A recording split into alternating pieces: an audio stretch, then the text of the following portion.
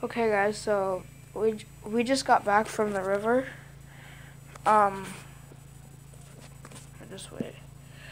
We just got back from the river, and with uh, Jeremiah. You've seen him in my videos. Um, we were just at the river, daybreak, and um, we were here. We were um, swimming around, and I looked underwater, and we found these traps. Um, they were full with uh, tuna with tuna cans and well one tuna can uh, got two where's the there it is so I got two traps. We found them. They're they're homemade obviously. They're just two um, baskets together with you know some extra stuff but so we didn't know that it was for crawdads, and we didn't see crawdads there at the time, so we, uh, here, set this down. So we took it,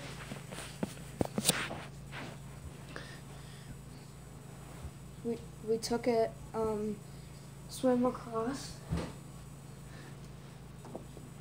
so just, these two traps and um, they're really simple.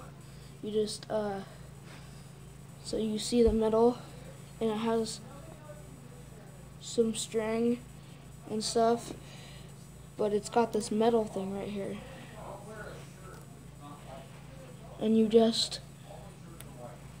um, look, you just squeeze it together and you can see it, it opens up.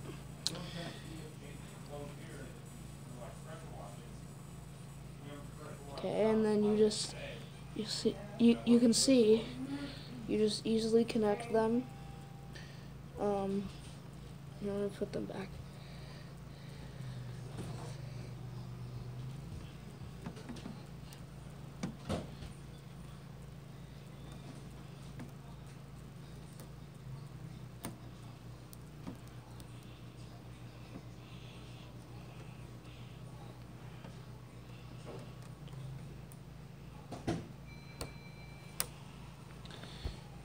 So they work really simple. Uh, you can see this hole right here.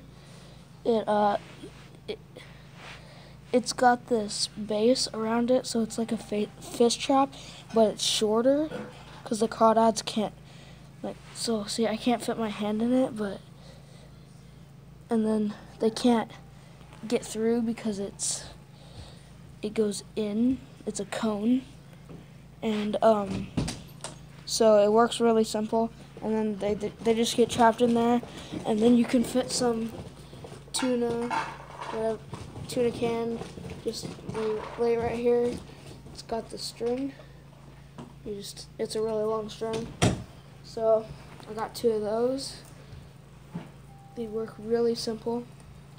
So I I just wanted to show you guys um, you can watch Jeremiah's video of of us um, at the river.